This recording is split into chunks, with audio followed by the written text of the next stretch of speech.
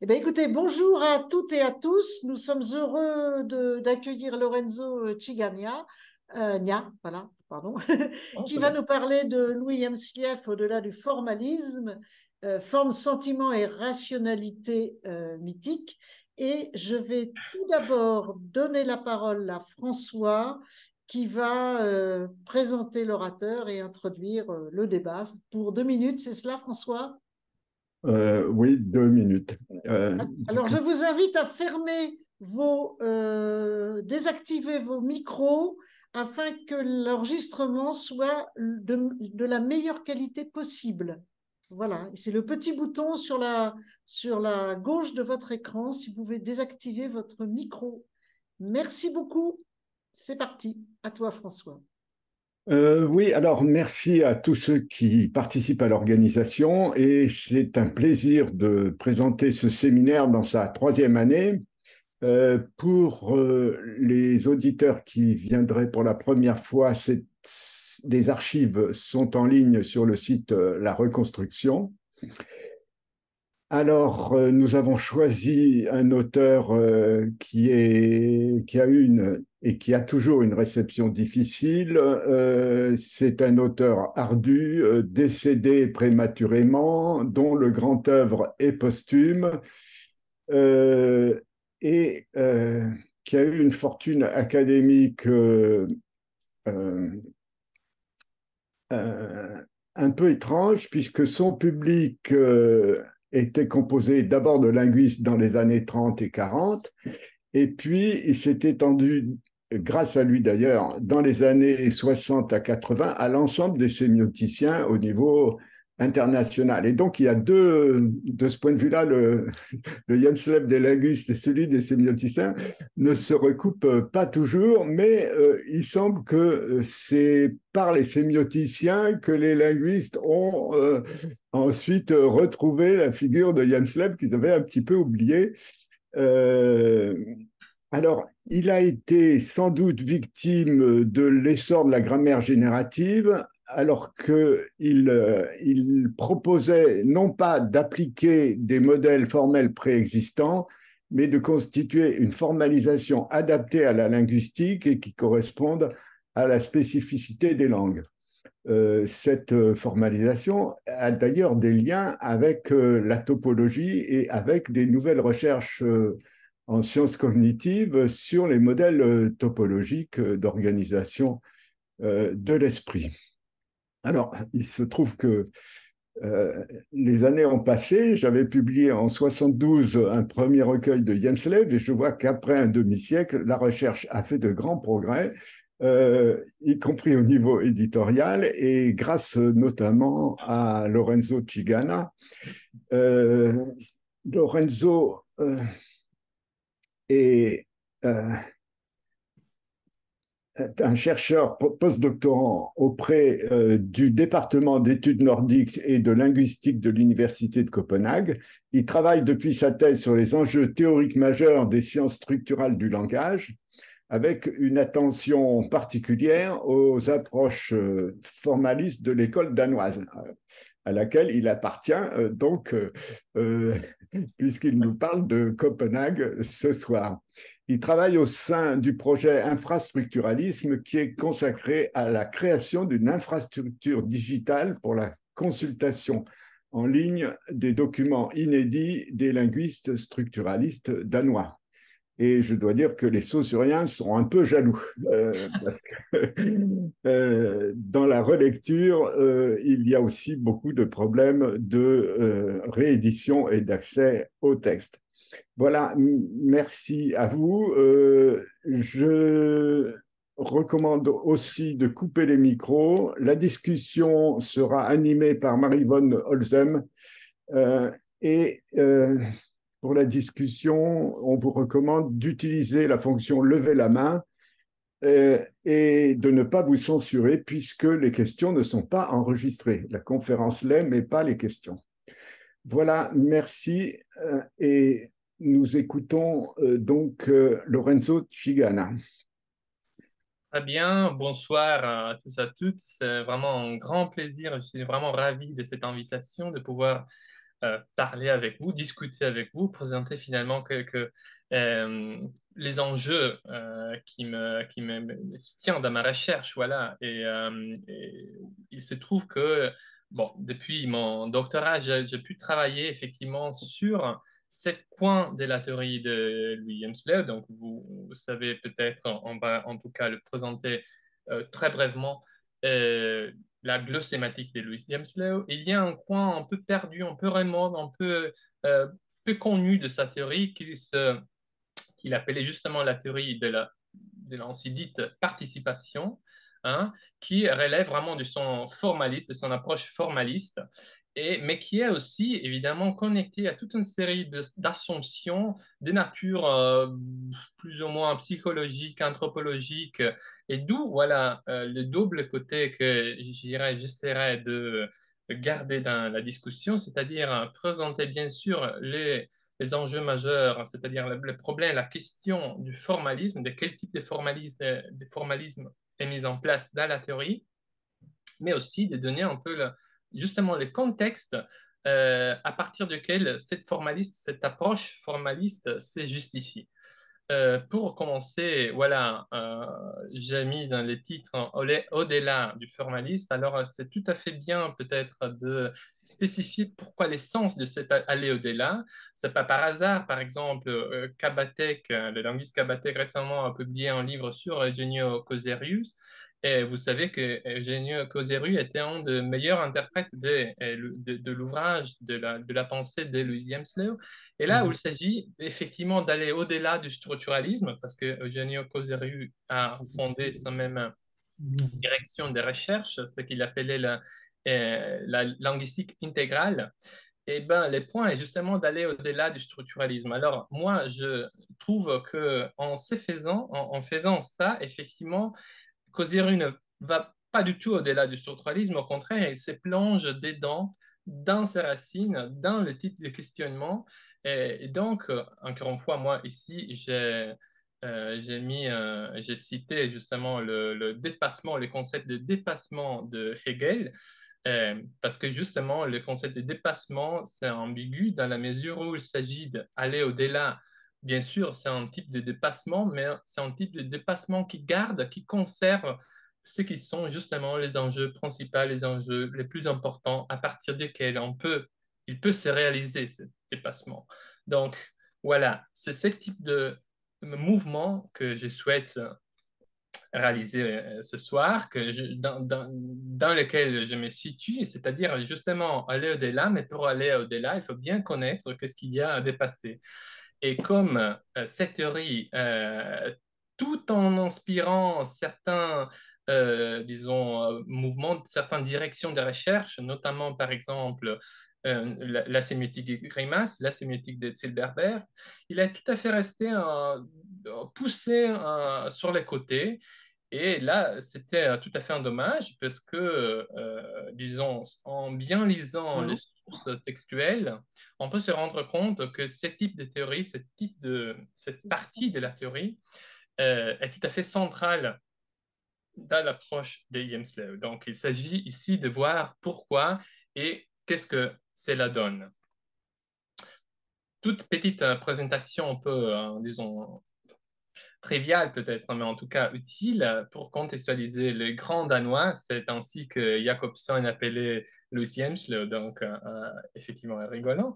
Euh, c'est une figure importante de la linguistique des années 30 et de la, des débuts de la sémiotique, justement, et était le cofondateur avec l'autre grand linguiste romaniste de l'époque danois, c'est-à-dire Viggo Pandal du cercle linguistique de Copenhague. Et vous savez que voilà, le cercle linguistique de Copenhague était vraiment censé être une sorte de hein, euh, euh, version spéculaire du cercle linguistique de Prague et de tout autre cercle, euh, le cercle de Genève, évidemment. Donc, c'était vraiment dans la l'époque de la linguistique des cercles. Donc, le s'inscrit dans cette sorte d'effort d'institutionnaliser une science, la linguistique, en tant que science, c'est-à-dire euh, une discipline générale et euh, hypothétiquement formelle, exacte, objective.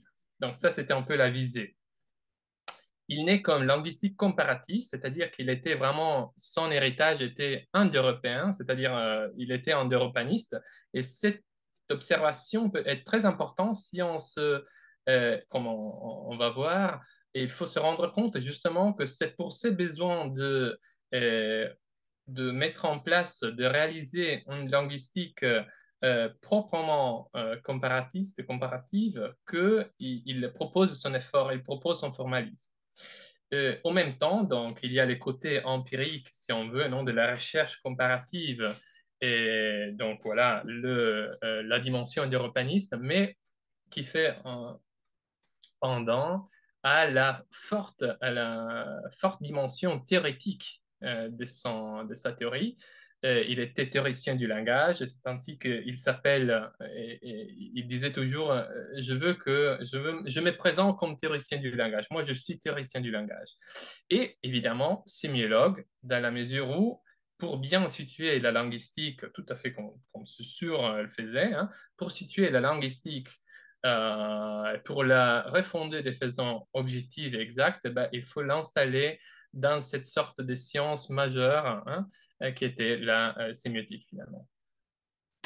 Et à partir des années 30, euh, et plus précisément à partir de 1935, il fonde avec Hans-Jürgen Uldal, qui était son, ami et son collaborateur de toute la vie, hein, la théorie du langage, justement ce qu'il appelle glossématique.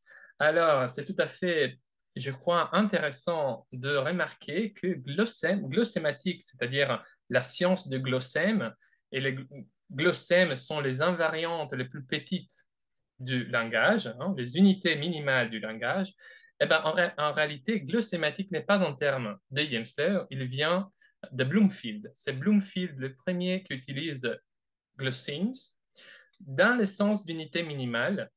Et je crois que ça, c'est peut-être un aspect un peu, euh, disons, méconnu, mais euh, c'est très intéressant parce que ça montre que Yemsler concevait sa théorie comme une sorte d'héritage, comme la nécessité, le résultat nécessaire d'une série euh, d'efforts théoriques euh, précédents.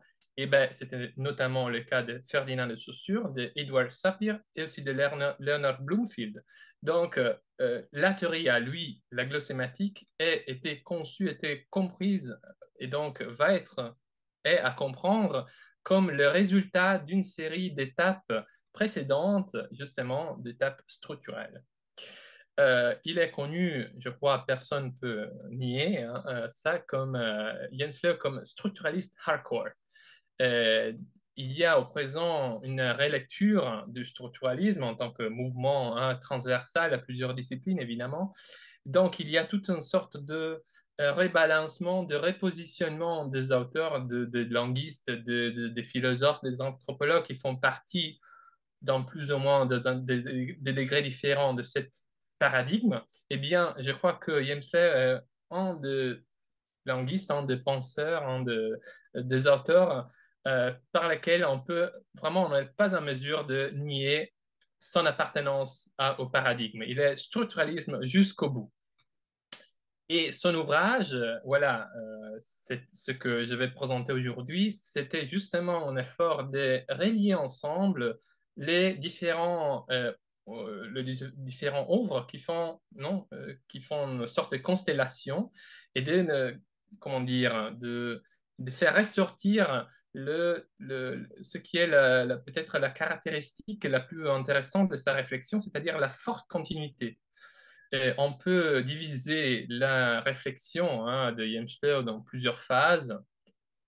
La, la phase pré-glossématique, la phase glossématique, la phase post-glossématique. En tout cas, ce qui ressort est justement, si on est disposé justement à mettre en ligne les différents ouvres, à, lire ensemble les produits de sa réflexion, justement, c'est le caractère fortement unitaire euh, de, de, propre questionnement. Voilà. Donc, il part euh, il écrit dans 1928 Les principes des grammaires générales, qui était l'ouvrage euh, avec lequel il se présente sur la scène de la linguistique internationale. il est relativement jeune, 29 ans, euh, et pourtant les principes sont tout à fait un ouvrage très important pour comprendre quels sont le, les enjeux, les besoins théoriques de départ qui, font, qui déclenchent en fait l'approche de Yamsdale. Le deuxième ouvrage euh, qui est normalement considéré un point de repère euh, très important, c'est la catégorie des cas. Et on verra qu'on on, va utiliser cet ouvrage extensivement dans l'exposé, disons, dans la présentation, parce que c'est euh, un ouvrage où justement Yamsdale fait montre de, euh, de s'en mêler dans, l'empirie. Donc, euh, le, niveau fortement abstrait retrouve son pendant dans l'empirie. Le troisième, et c'est l'ouvrage le plus connu, ce sont les prolégomènes en théorie du langage, publié en 1943. Et après ça, il y a toute, une vie de publications, d'articles, d'interventions, de euh, petits non, interventions au sein de, de, proceedings, etc., etc. Et tout ça été récolté au fur et à mesure de, de, la réception dans deux, trois euh, publications historiques qui marquent vraiment l'histoire de la réception de Jensler, donc les essais linguistiques, premier et deuxième volume, le nouveau essai euh, récolté par euh, François Rastier. Et le dernier, le tout dernier, ce sont justement les essais et communication sur le langage, petit, euh, petit publicité que je fais, parce que j'ai essayé de recueillir, de recueillir les, les interventions les plus petites, les plus brèves, qu'on peut nommer de littérature grise, c'est-à-dire, euh, par exemple, le, les réponses données au, sein des conférences, des, congrès, parce que même là, on peut saisir justement la démarche typique de la pensée de James. Donc, même ça donne, apporte quelque chose à sa réception. Euh, alors, euh, j'espère que vous me direz s'il y a quelque chose, la, la visualisation du diaporama n'est pas au point. Moi, je dois déjà minimiser voilà, ça. Alors, l'objet à discuter, quel est l'objet à discuter? L'idée principale. Eh bien, l'idée principale est déposée justement, euh, formulée dans la catégorie des cas. Donc, nous sommes vraiment dans les années où il s'agit de mettre à point cette sorte d'intuition qui était développée euh, entre Yemsle et Uldal, c'est-à-dire que le langage, les deux plans du langage, les signifiés et les signifiants, peuvent être articulées peuvent être décrites sur la base du même principe. Donc, l'idée est que le système, le système du langage n'est pas construit comme un système logico-mathématique d'opposition entre termes positifs et termes négatifs. Le système linguistique est libre par rapport au système logique qui lui correspond. Il peut être orienté différemment sur l'axe du système logique et les oppositions qui contrastent sont soumises à la loi de participation. Voilà la formulation donc euh, centrale. Il n'y a pas d'opposition entre A et non A. Il n'y a que des oppositions entre A d'un côté et A plus non A de l'autre. La découverte n'a rien de surprenant puisqu'on sait par la recherche de M. Lévi-Brûle que le langage porte l'empreinte d'une mentalité prélogique.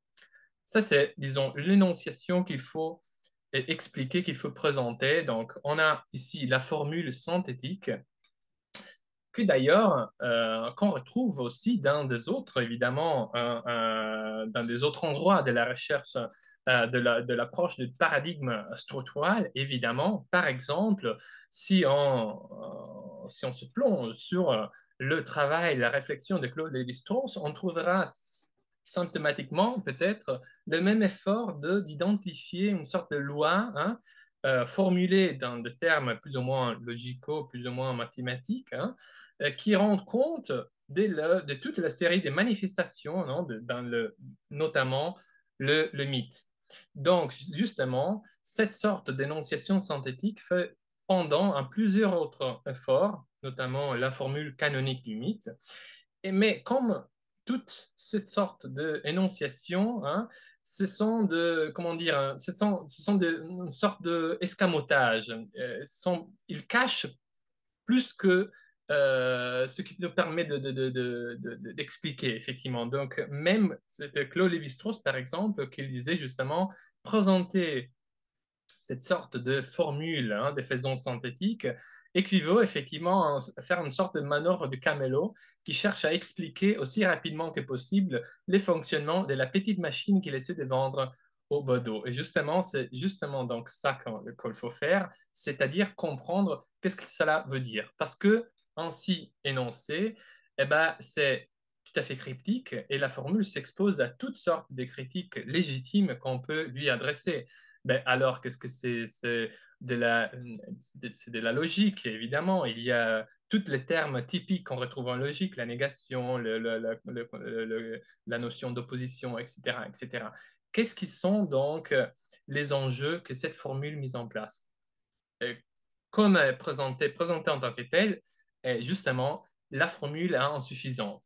Donc, pour bien comprendre, pour bien la comprendre, il faut, à mon avis, faire prendre deux démarches. Tout d'abord, euh, disons, euh, accepter qu'il ait un sens quand même, c'est-à-dire exercer les principes des charités, non, des. Ben, il faut supposer qu'ils ne sont pas des hypothèses euh, et des abstractions de, de, pure spéculation, mais que cette sorte, cette sorte de formulation hein, nous permet effectivement de dégager une méthode, pas seulement donc une théorie, c'est-à-dire une série d'énoncés sur la nature du langage finalement, mais, euh, et voilà, ça le, ce qui est intéressant, qui nous permet effectivement de développer, de dégager des principes méthodologiques applicatifs, c'est-à-dire qu'on peut déclencher une méthode, bâtir, on, peut bâtir sur cette formule une méthode de description euh, ou d'analyse des différentes langues. Et deuxième démarche, effectivement, c'est adopter le principe de contextualisation, c'est-à-dire contextualiser euh, cette formule sur différents hein, euh, états, sur différents niveaux, si on veut, le niveau linguistique, le textuel, c'est-à-dire justement reconstruire les contextes d'énonciation de la formule, les contextes génétiques, si on veut, hein, c'est-à-dire rendre compte de l'évolution euh, de, la, de la réflexion sur cet euh, aspect euh, de la théorie de James mais surtout aussi une contextualisation conceptuelle, c'est-à-dire justement quelle est la place que la formule, quel est le rôle de la formule dans l'économie globale de la théorie. Et donc voilà, les deux questions à répondre sont justement quels sont les besoins, euh, j'avais écrit quelles sont les, nécessités auxquelles James essaie de faire face en développant cette formule et euh, justement quelle est la théorie, le, système hein, méthodologique aussi sous-tendu à cette énonciation synthétique et tout à fait cryptique?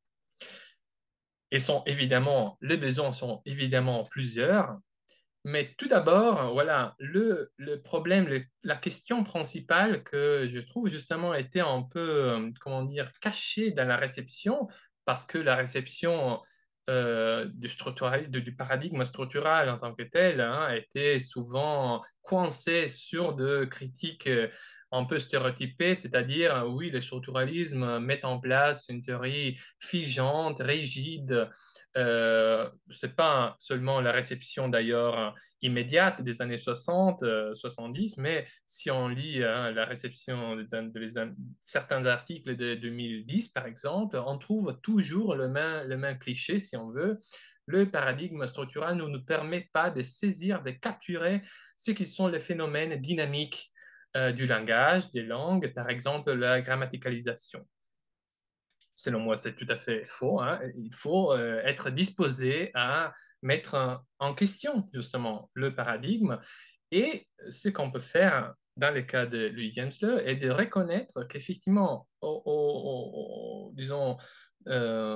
cœur de, la réflexion de Louis Jensler, il s'agissait de respecter l'effort, de respecter la nature, si on veut, parler comme ça, c'est-à-dire en utilisant vraiment la terminologie Humboldtienne, la nature énergétique, hein, c'est-à-dire intrinsèquement dynamique des systèmes linguistiques. Donc, la théorie de la participation et cette formule un peu cryptique sert justement à mettre en place un formalisme qui est censé justement reproduire la, dynamique intrinsèque. Du système pour voir ça, je crois justement qu'on a effectivement la possibilité de retrouver le passage dans les principes des grammaires générales. Et encore une fois, la centralité des principes, on peut la saisir parce qu'il y a toute une série d'énonciations programmatiques qui nous permet de bien comprendre la suite de la réflexion de James Dans les principes de grammaire générale, justement, il, s'agit de mettre en place ce type d'approche. Il nous dit, James nous dit, le synchronique n'est rien que la langue en fonctionnement, le jeu des oppositions entre signes. Le synchronique est une activité, une énergia. La synchronie est la théorie des procédés linguistiques. La dynamisme est le principe le plus élémentaire du langage. On n'y échappe pas, quels que soient les points de vue adoptés. Euh, on peut bien sûr dire qu'à partir d'un principe, si on considère la suite des travaux de James bah, il y a pas mal de choses qui changent, évidemment. Les principes euh, font montre d'une approche euh, inductive, tandis qu'après, la théorie sera plutôt déductive, etc., etc. Bien sûr, il y a la réflexion évolue, sans doute. Mais quand même, il y a certains euh, éléments du style, de ce qu'on pourrait appeler le style épistémologique mis en place dans les principes, qui marquent vraiment le, euh, cadre théorique dans lequel la glossématique s'y situe.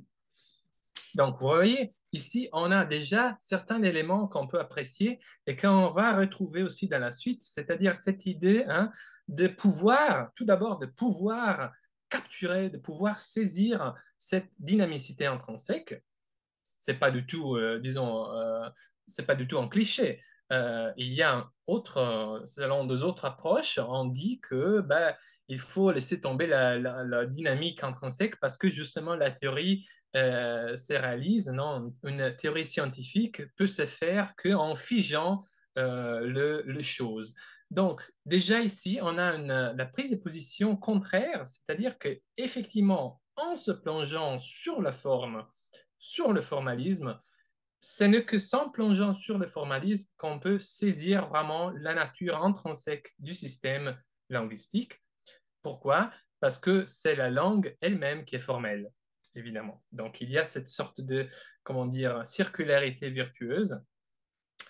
Euh, le voilà, le, premier aspect, c'est encore une fois de souligner cette sorte de mouvement géologique, de rythme géologique qui est inhérente au système. Euh, il n'y a pas effectivement, et ça c'est une, chose qui ressortira dans la suite, surtout dans les années 1934, dans un cycle de, leçons euh, qui Jens Le gardera à Horus, eh ben, il n'y a pas effectivement d'opposition entre synchronique et diachronique, c'est-à-dire entre système et changement. Le changement a une nature, représente le, euh, le mécanisme intrinsèque du, système elle-même, lui-même. Le système lui-même change.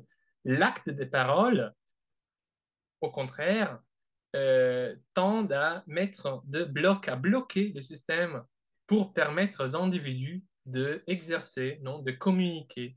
Donc, Déjà, dans les principes, plus encore dans les années 30, il y a une sorte de renversement des perspectives. Mais en tout cas, l'idée de base est encore une fois que euh, celle de pouvoir saisir la dynamique intrinsèque du système. Pourquoi? Parce que c'est pas, disons, le changement n'est pas une, encore une fois un attribut, hein, euh, une qualité, comment dire, accidentelle. C'est que le système change parce que c'est reconstitue à chaque fois non, qu'elle est actualisée. Donc là, le système fonctionne parce qu'il reste système tout en changeant. Euh, donc, vous voyez que euh, c'est le troisième point de cette, euh, de cette slide. dire forme, ça veut dire en même temps formation, parce qu'on peut, on a effectivement la possibilité de de comprendre, c'est l'idéal descriptif de Yemsler, de comprendre comment le système se constitue. Donc, c'est le côté systématique, si on veut. Mais en même temps, ça veut aussi dire transformation, c'est-à-dire comprendre à travers le formalisme comment le système est censé changer. Donc, encore une fois, constitution du système, c'est-à-dire système en tant que tel, et transformation, c'est un mot goétien, hein, euh, c'est-à-dire justement le passage entre formes sont deux aspects complémentaires qu'il faut garder, hein, euh, disons, ensemble si on veut représenter, si on veut faire justice de la langue.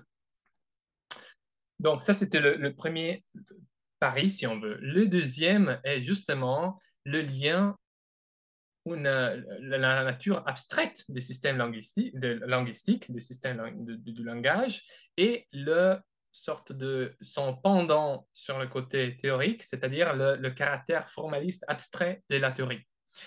Euh, reconstruire un système, c'est une opération de description qu'on peut faire euh, grâce à certains mécanismes internes à la langue elle-même, parce que le métalangage, finalement, n'est que le fonctionnement de la langue sur un niveau différent. Donc, il y a cette sorte de prise en compte qui sera tout à fait fondamentale dans la dimension sémiotique qui sera développée dans les, années 40. Mais euh, aussi, il y a cette sorte de prise de position fortement, et cette sorte de hum, conscience épistémologique très poussée qui nous permet de thématiser ce que Umberto Eco non, euh, disait, la structure absente. Euh, là, nous sommes dans le, euh, texte, justement le cycle de l'action de Horus, 1934, où il s'agit de dire, de reconnaître que oui, reconstruire les systèmes, c'est le degré ultime de l'abstraction, mais ce n'est maintenant la plus profonde vérité. Abstraction et réalité ne s'opposent pas à travers un certain nombre d'abstractions, euh, j'ai abouti à quelque chose que chacun respectera comme une réalité. Et même si quelqu'un est sceptique quant à cette réalité, justement le système fortement abstract et formel non, des oppositions qu'on retrouve dans la langue, j'ai un argument, dit Henslow, quand bien même on dirait que le système n'est pas une donnée objective, mais qu'il est construit par moi, c'est la linguiste, non, qui est censé le reconstruire. Donc, il y a quand même un moment subjectif dans la description. Je soutiendrai que je dois les construire si tant qu'il fait que je mène à bien la tâche qui m'a échu, c'est-à-dire expliquer le langage. Les systèmes ont une nécessité épistémologique, une hypothèse de travail qui est inévitable. Enfin, on conçoit que, ce n'est que si nous admettons cette hypothèse de travail, c'est-à-dire que notre objet a une structure, est doté d'un système, hein, qu'il devient possible d'expliquer réellement l'ensemble des changements linguistiques et en particulier les transformations, pardon, il y a des coquilles, euh, ça c'est le, système anglais qui, hein, qui m'efforce euh, est là. Bon, les transformations les plus profondes, les plus décisives, les plus fondamentales, celles qui atteignent les systèmes. Donc, encore une fois, c'est en opérant cette sorte d'abstraction, de cette sorte de formalisation, qu'on peut saisir, qu'on peut, a la possibilité de récomposer la totalité organique du langage dans son système, dans son essence synchronique, et aussi dans ce qu'il appelle, euh, James le appelle, le côté métachronique, c'est-à-dire justement les transformations profondes du langage. Encore une fois, expliquer le système et les changements, c'est-à-dire justement les deux côtés du langage, ça veut dire enlever l'opposition entre synchronie et diachronie. Et donc rendre justice à la euh, à la modalité des constitutions de n'importe quel système linguistique. Ça, c'est un peu le pari et aussi les hypothèses opératoires qu'il faut mettre en place pour pouvoir hein, euh, euh, attendre la, visée, la cible. le, troisième, le troisième besoin qu'il faut absolument garder dans l'esprit, c'est que le système, cette, cette, théorie a été conçue pour avoir une bonne base de comparaison entre langues différentes. Et pourquoi? Parce que euh, ben, à l'époque était une nécessité justement puissante, ressentie par Saussure évidemment, par Boas, par Lévi-Bruhl, de comprendre l'altérité en tant que telle, qu'il s'agissait de différentes cultures, de différentes civilisations, de différentes langues. Comment faire pour avoir une possibilité de décrire ce qui nous semble le, complètement différent. Et le problème était évidemment très euh, vécu, très marqué pour la linguistique, parce que si on établit une théorie euh, faite, dressée pour les langues indo-européennes, ça, évidemment, va automatiquement rater quand il s'agit de projeter les catégories qu'on retrouve dans les langues indo-européennes sur les langues qui ne sont pas indo-européennes. Donc, le problème est un problème il y a une sorte d'instance, si on veut, spécifique, linguistique spécifique, parce qu'il s'agit de retrouver à travers un conseil neutre hein, entre linguistiques, entre différentes langues, comme celle de euh, opposition, pouvoir bâtir une bonne comparaison, euh, comparaison linguistique. Et, donc d'attendre justement le niveau de généralité qui n'était pas celui de la, par exemple, la grammaire générale, non, qu'on appelle la grammaire générale des Port-Royal. Alors, il y a une prise de distance euh, dans la mesure où il s'agit de retrouver le point de repère qui nous permet de établir une grammaire générale sans plonger non, dans le euh, problème d'une grammaire universelle.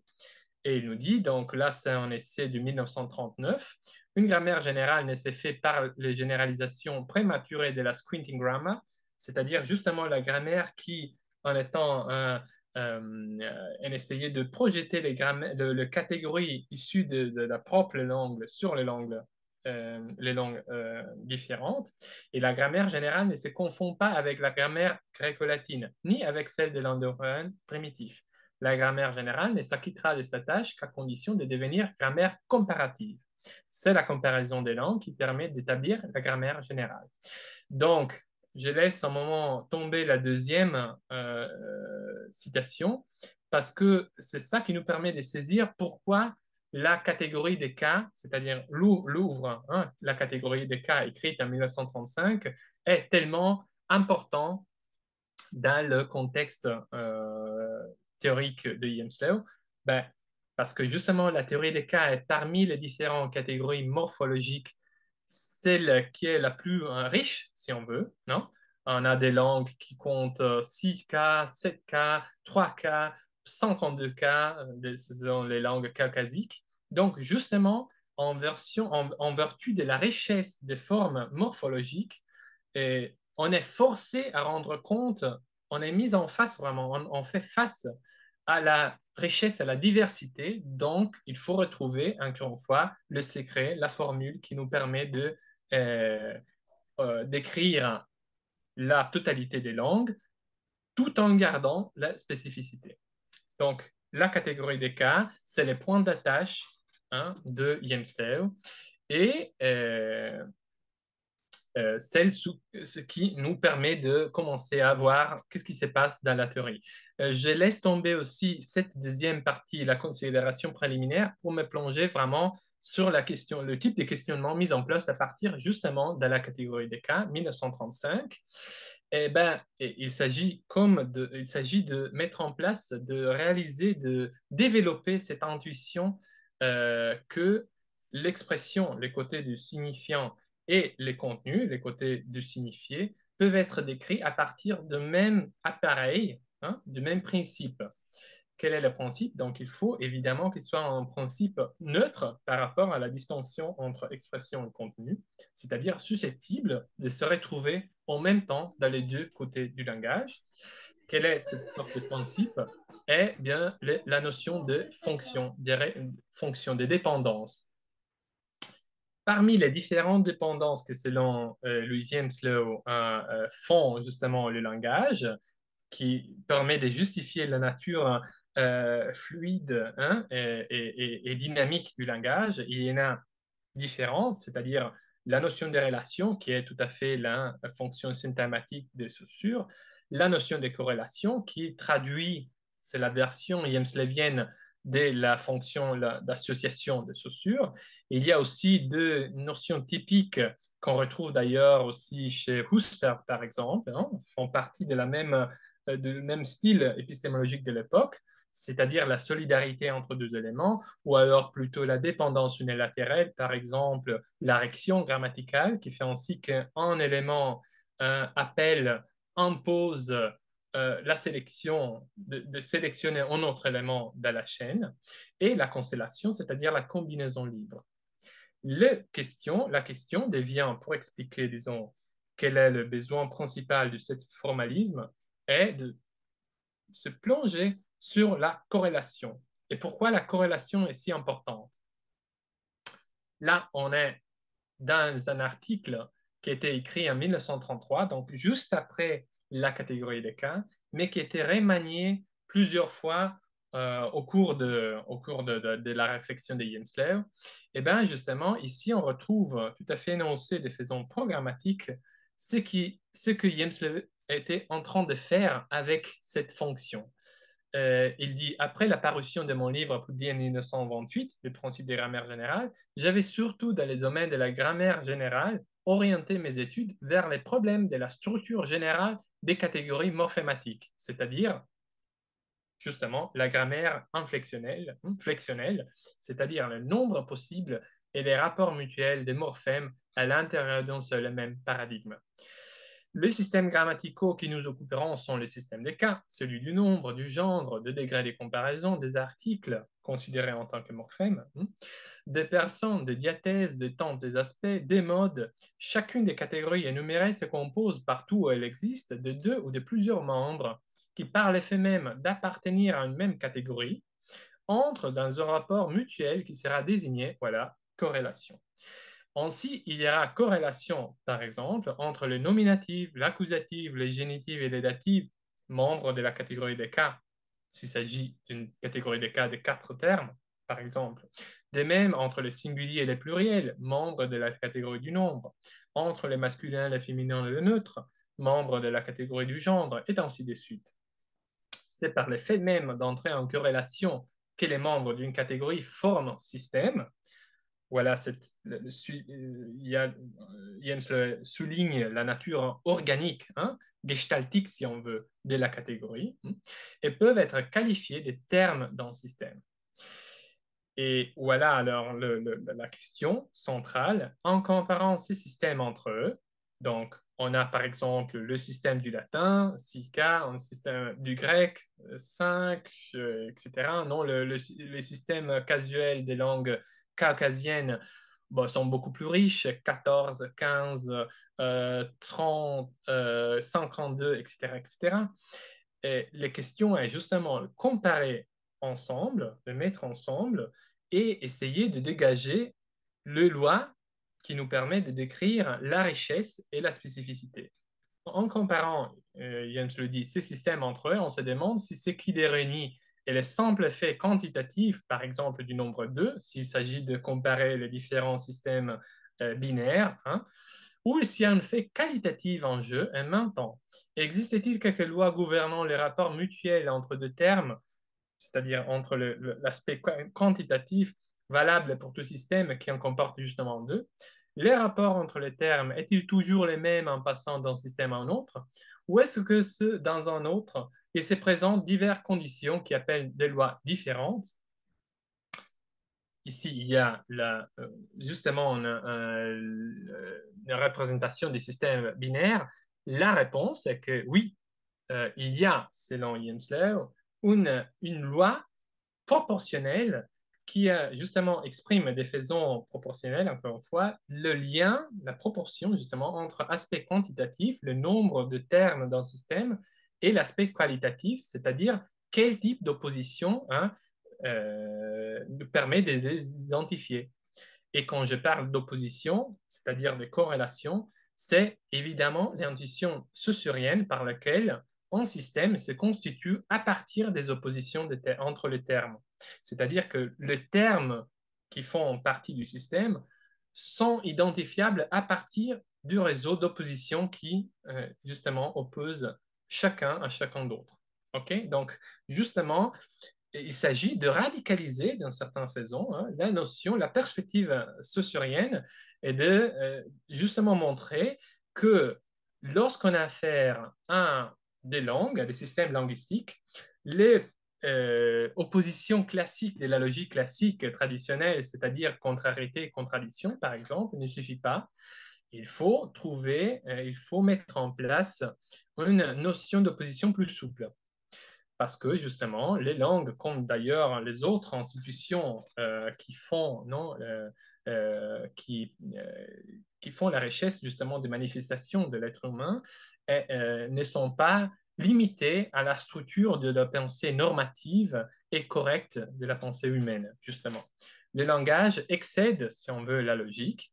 Et eh bien, si on assume cette, cette euh, proposition, qui d'ailleurs a été formulée pas seulement, mais en premier lieu par Lévi Brûle, l'anthropologue, ben, il faut justement euh, alors mettre en place et la justifier en donnant la façon, la, façon de rendre compte de cette proposition. Donc, quel type d'opposition on a besoin? Euh, Comment justifier les rapports entre logique et la dimension linguistique qu'il faut décrire en termes logiques, justement euh, La réponse est donnée dans 1933. 1933 représente un point de repère fondamental parce que James répond à ces questions, mais malheureusement n'a pas la possibilité de publier cet article qui, va apparaître euh, posthume, malheureusement, parce que la tradition successive n'a pas pu vraiment euh, situer ou lire cet article dans le contexte historique de sa genèse. La réponse est la suivante. Il paraît qu'un système est souvent organisé sur l'opposition entre des termes précis d'un côté et des termes vagues de l'autre. Deuxième hypothèse, tout système à deux termes est organisé sur l'opposition entre un terme précis et un terme vague. Très bien, mais alors qu'est-ce que ça veut dire en termes précis et en termes vagues Il faut quand même être en mesure de définir le, vague, la, fluidité qu'on retrouve, qu'on suppose hein, euh, dans, cette, euh, dans les oppositions linguistiques. Encore une fois, on retrouve la, la formulation qu'on retrouvera aussi dans la catégorie des cas. Les corrélations linguistiques sont très souvent des oppositions vagues et imprécises. Et il sera faux de vouloir ramener un principe rigoureux de type logico-mathématique, qui d'ailleurs était en train de se faire par l'école de Prague. Euh, et pas seulement par Vigo Brandal. Il y avait un effort partagé à l'époque de géométriser, si on veut, hein, les différents éléments d'un système en lui assignant, en assignant des valeurs euh, mathématiques, plus, moins, euh, zéro, terme complexe, terme neutre. James le fait la même chose en fait, sauf qu'il rend, la théorie plus souple, plus flexible en fonction justement de euh, de son hypothèse, c'est-à-dire que le langage défie, fait défi à la logique. Dans les corrélations morphématiques ordinaires, il ne s'agit pas d'une opposition logique entre A, encore une fois, et non A, il s'agit le plus souvent d'une opposition plus confuse entre un terme précis et un terme vague. Alors, comment faire pour mapper, pour définir ce type d'opposition? Pour le faire, il faut supposer autre hypothèse opératoire, il faut en effet établir la zone sémantico-notionnelle de la catégorie en question. Donc, on suppose d'étudier la catégorie des cas. Très bien. Tout ce qu'il faut faire d'abord est établir les domaines, hein, les domaines logiques de la catégorie euh, en tant que telle, c'est-à-dire l'ensemble des différents termes, nominatifs, génitifs, datifs, euh, euh, ablatifs, accusatifs, instrumentales, locatives, etc., etc. Donc, il faut concevoir la catégorie en tant que telle de façon topologique, si on veut, hein, et diviser, ça ce sont les, mots que James utilise en 1933, et diviser cette zone de la seule façon logiquement possible, c'est-à-dire en deux cases contraires et une case intermédiaire. Rien de spécial, c'est vraiment de la logique appliquée. La question est, donc vous, voyez ici, je l'ai un peu représenté, on peut interpréter la catégorie euh, en termes d'une carré, si on veut, hein, et on peut reconnaître, articuler internement la catégorie dans des zones logiques. Donc, par exemple, euh, on peut subdiviser la catégorie en trois, en trois valences, ce que j'appelle valence, pour ne pas le confondre avec la, notion de valeur, parce que la valeur est justement linguistique, la valence est plutôt logique. Euh, et bien voilà, ce qu'on peut faire, si on subdivise la catégorie en trois, on peut établir deux liens de type tout à fait logique, banale, triviale. L'opposition contraire, euh, c'est la logique euh, classique qui nous dit, c'est-à-dire A versus B, quelque chose qui n'est pas A, évidemment. Donc ça, c'est la convention graphique, diagrammatique que James utilise dans cet article pour mapper une opposition de type contraire.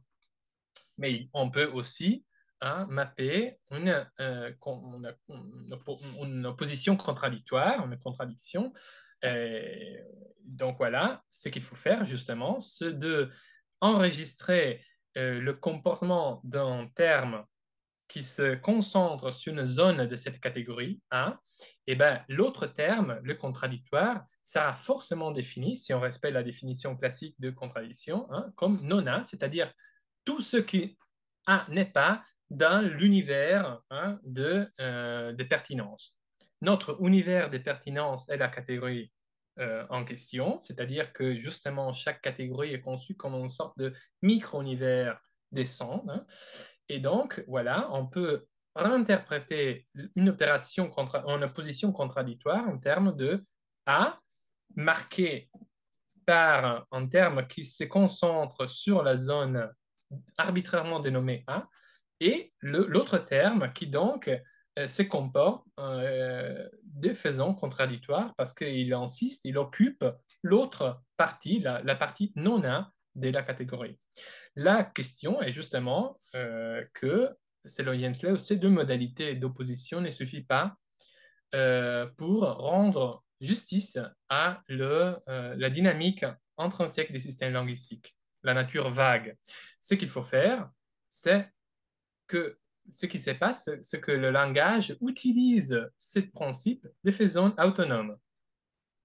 Alors, le, la chose est qu'on peut effectivement enregistrer la distribution, le comportement des différents termes dans le système, c'est-à-dire par exemple le nominatif, l'accusatif, le datif dans le système de cas, hein, de chaque élément de système. On peut utiliser cette sorte de diagramme pour mapper l'opposition réciproque de termes et donc, on peut, par exemple, euh, interpréter, décrire l'ablatif du latin hein, en disant qu'il tend à garder les significations particulières, c'est-à-dire les variantes spécifiques qu'on retrouve dans chaque réalisation syntagmatique du cas, dans la zone négative, arbitrairement appelée négative, euh, du contenu de la catégorie. Par exemple, si on assume que le signifié véhiculé dans la catégorie des cas est l'idée de direction, on peut articuler arbitrairement hein, la zone en trois grandes significations, rapprochement, repos, éloignement. Et jusqu'ici, rien de spécial, c'est une articulation logique. Mais alors on découvrira, si on utilise cette sorte de, de, de map, de carte, hein, on peut finalement rendre justice au comportement fonctionnel de l'ablatif latin qui a différentes euh, réalisations, hein, différentes euh, significations particulières. Par exemple, il se prête à véhiculer le la signification de provenance, de l'origine, de l'instrument, des causes, des modes, des compagnies, les compléments de compagnie, non? Euh, cum, la, préposition cum plus ablatif, ça sert à marquer ce qu'on appelle la complément de compagnie, par exemple. Donc, si on reconstruit, si on, si on s'efforce de reconstruire cette sorte de constellation euh, euh, très riche, si on veut, hein, des, fonctions spécifiques que chaque forme a, que chaque terme a dans le système, on trouve souvent que euh, on peut redistribuer toutes les différentes significations sur l'entièreté de la zone de la catégorie tout en trouvant certains points de concentration, et notamment, Jens le dit, que l'ablatif euh, marque une sorte de... Euh, se concentre sur la signification de l'éloignement, parce que c'est en sorte la, la, signification la plus importante. En tout cas, c'est pas ça la question, c'est que justement, voilà, cette sorte de méthode, c'est-à-dire de calculer, si on veut, de, décrire le comportement fonctionnel des différents termes euh, sur la base de cette sorte de matrice nous permet effectivement de rendre compte euh, de la nature fluide des oppositions. Voilà, alors ce que James nous met dans la main, dans la catégorie des cas, et déjà dans, le 1133, en fait, c'est qu'il y a trois possibilités oppositives euh, qui caractérise le système du langage. Une première opposition, vous voyez sur la, sur la, gauche, le, la première couple, c'est justement une opposition entre un terme précis, c'est-à-dire qu'un terme qui concentre sa signification sur une case spécifique, mais l'autre, voilà, le cas, la forme vague et imprécise, dans quelle mesure on peut la définir? Ben, justement, on l'a définie par le fait qu'elle tend à se distribuer sur l'entièreté de la catégorie, ce qui lui permet de se substituer à la fois au terme précis et aussi de, euh, c'est un peu la théorie de la marque en version danoise, hein, de se présenter, de faire la fonction de la catégorie elle-même. Donc, là, le fluide, le, vague, pour Yemsler, est interprété comme la susceptibilité que les formes dans système, que les termes le système ont de se distribuer, de, de saturer la zone euh, logique de la catégorie. Donc, voilà pourquoi, alors, si on se souvient de la bizarre forme non A versus A plus non A, qu'on n'arrivait pas vraiment à comprendre, oui, on ne le comprend pas si on ne euh, si on, se, si on se considère pas cette sorte de formalisation, cette sorte d'hypothèse de travail qui d'ailleurs était formulée déjà et adoptée déjà en 1928, c'est-à-dire chaque catégorie grammaticale, mais en fait chaque catégorie linguistique n'est pas un index hein, syntaxique euh, privé du contenu, mais au contraire constitue un micro-univers des sons doté de significations spécifiques. Et c'est à partir de cette sorte de fond euh, homogène des significations qu'on peut arriver à calculer et à décrire les différentes euh, oppositions vagues hein, qui euh, identifiaient la valeur du terme du système. Donc, encore une fois, c'est l'opposition prototypique considérée un peu comme la, la valeur prototypique, l'opposition prototypique est celle-ci, A, c'est-à-dire en termes vagues, opposé, pardon, en termes précis, opposé en termes vagues, parce qu'on a là donc la susceptibilité du, point, du terme vague de recourir à la fois la zone typique du terme précis, A, mais aussi simultanément la zone normalement euh, contradictoire donc, le régime logique typique du langage, un régime inclusif, un régime participatif, un régime dans lequel, effectivement, euh, il n'y a pas de trous. Voilà. Il, s'agit d'un régime de continuité. Et, et cet formalisme, euh, je trouve, disons, c'est vraiment l'effort, un des efforts les plus conséquents, si on veut, de euh, rendre compte de la nature continuelle des phénomènes linguistiques à partir d'un formalisme qui n'est pas vraiment un formalisme logique et pas vraiment mathématique, donc c'est vraiment spécifique, si on veut, de la proposition de, euh, de À partir de ça, euh, je garde un peu... Euh, oui. Euh, Marivonne, vous pouvez intervenir quand, parce que je ne vois pas le, le, le, crin, donc quand il y a le, le termine, vous, me, vous pouvez tranquillement intervenir dans la discussion en disant attention. Euh, à partir de ça, à partir de cette formalisme, de cette idée base, il y a toute, toute une série de conséquences qui se dégagent, c'est-à-dire que on peut rendre compte des systèmes beaucoup plus riches. Euh, par exemple, un système à deux termes donc sera automatiquement, par principe, constitué en termes de cette sorte d'opposition précis-vague. Un système à trois termes euh, sera constitué à partir, oui, d'une opposition contraire, mais une opposition contraire du type participatif. Donc, vous voyez ici, par exemple, ça, c'est un couple contraire parce qu'on a en même temps la dynamique typique de la logique de retrouver, non, de, polariser la signification, mais en même temps, la condition de saturation complète de la catégorie qui est typique des systèmes linguistiques est encore une fois respectée. Et donc, à partir de cette, si on considère ces trois possibilités positives, on a la possibilité, encore une fois, de rendre compte du système trois termes. À quatre termes, c'est le carré, si on veut, le carré euh, logique, hein, euh, mais le, carré euh, traditionnel de la logique, sauf que là, encore une fois, il y a un fond et on obtient le, carré en considérant ces quatre termes, les deux, la couple de bêta et la couple de gamma, ça devient, je me rends compte, un peu compliqué, mais en tout cas, c'est encore une fois pour vous donner la, possibilité d'apprécier un peu les enjeux les plus intéressants peut-être. Donc, il y a encore une fois l'affirmation, oui, qu'on peut retrouver les carrés logiques dans un système à quatre termes. La question est que même dans un carré logique, il s'agit de respecter la condition de la saturation complète. Si on se plonge, par exemple, dans la théorie de Vigo-Brandal, qui était en train de développer plus ou moins la même intuition, c'est-à-dire qu'un système à quatre termes euh, chez Brandal ben, assume plus ou moins la même configuration, c'est-à-dire en termes positifs, en termes négatifs, en termes neutres, en termes complexes. Oui, très bien, sauf que ce qui manque est justement cette intuition de la continuité que chaque forme installe dans le système. Donc, il y a cette sorte de manque qui est spécifique euh, de l'axiomatique la, de, de Yemsler. Il y a aussi la possibilité de décrire un système à cinq termes donc, et, et un système à six termes. Donc, vous voyez qu'il y a la prise en compte à la fois de la proportion entre aspects quantitatifs, le système à 2, 3, 4, 5, etc., et l'aspect qualitatif, parce que chaque terme est censé recevoir une valeur oppositionnelle différente, donc une définition différente.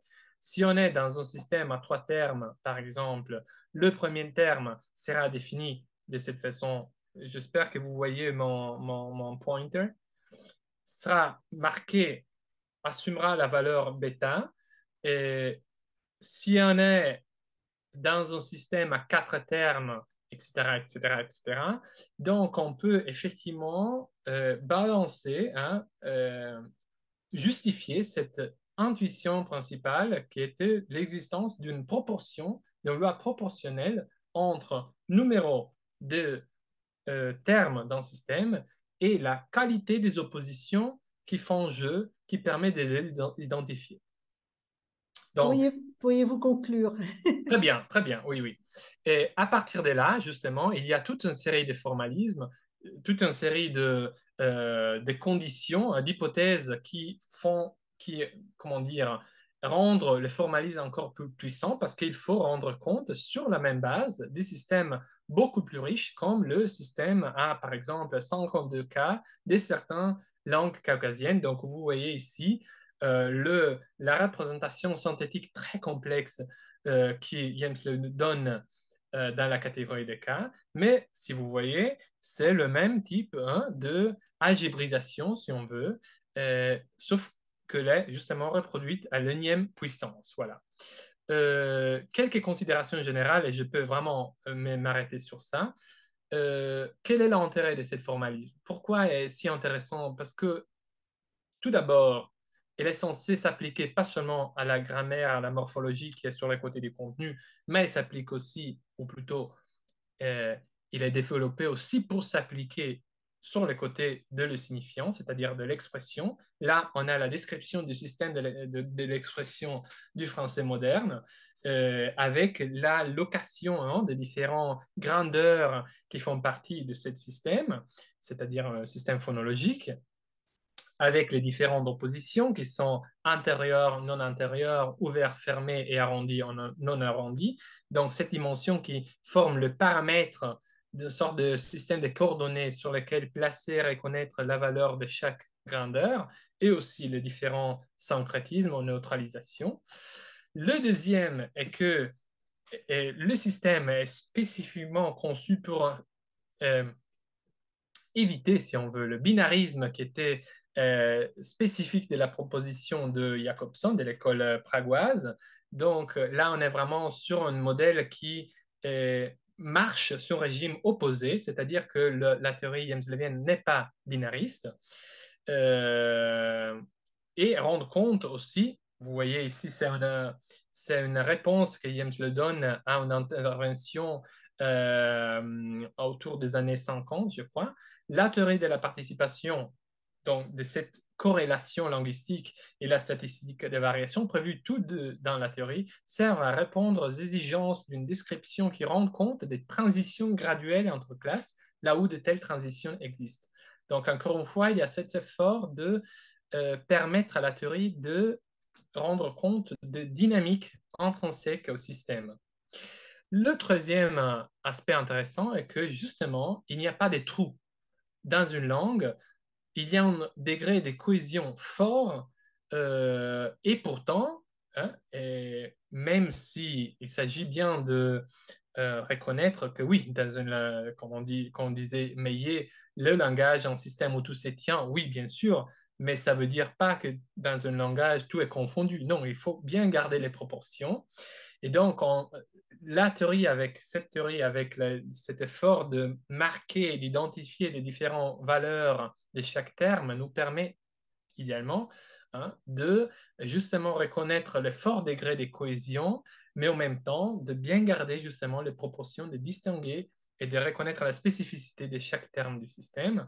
Là, je cite dans la stratification du langage, c'est un article de 1954, et il nous dit justement que toute catégorie est représentée par un de ses membres dans n'importe quelle unité. C'est-à-dire qu'il n'y a jamais absence de quelque chose dans un langage. Il n'y a jamais absence de, de catégorie. Voilà.